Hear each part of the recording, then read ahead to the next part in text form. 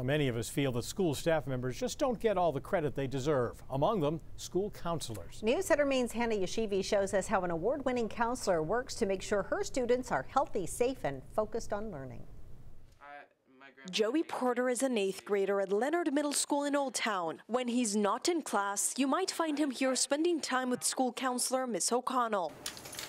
She helps a lot of kids that have some sort of problems they feel a little unsafe telling anybody else. Always lending students a friendly ear, offering advice, and playing music to help calm them down.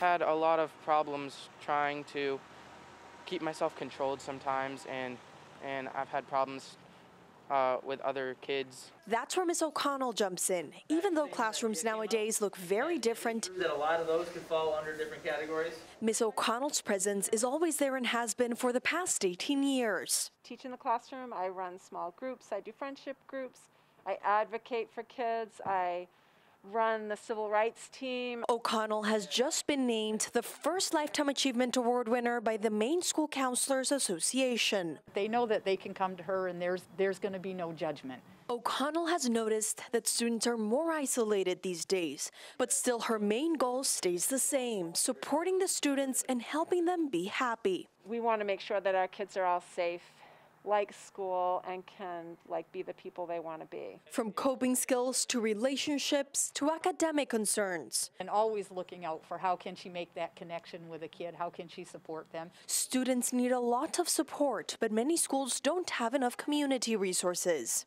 We need more therapists, we need more counselors, we have food insecurity, we have social justice concerns. Filling lots of different roles for students. She's one of my favorite people in the school. In Old Town, Hannah Yechivi, News Center, Maine.